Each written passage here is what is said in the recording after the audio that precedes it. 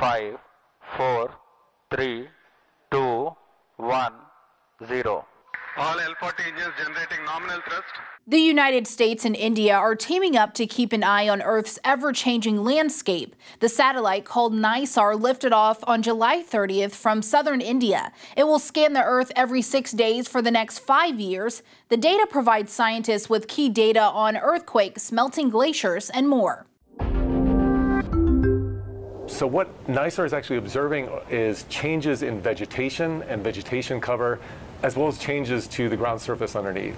From those images, scientists will be able to see what is going on both on the surface and inside Earth. In the United States, NISAR tracks earthquakes and volcanoes on the west coast. In the southeast, NISAR tracks hurricane floodwaters. And in the Midwest, NISAR can see land subsidence that's due to groundwater pumping and then recharge. For farmers, that information is key for tracking crops.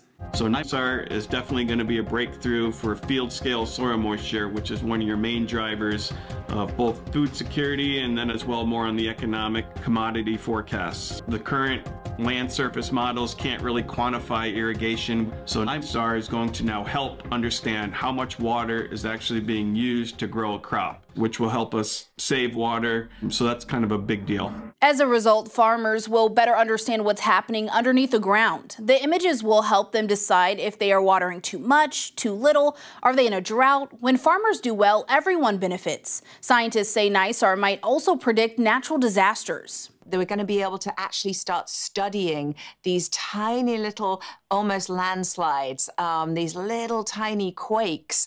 Um, and the goal, of course, being that we find a signature um, that happens before a major disaster that would allow us to then look for that and search for it and almost be able to predict these big disasters before they happen. Unlike other satellites, NISAR will be able to see through clouds. This means it can monitor Earth during storms and in darkness. For Straight Arrow News, I'm Kaylee Carey. Find the full story right now by downloading the Straight Arrow News mobile app today.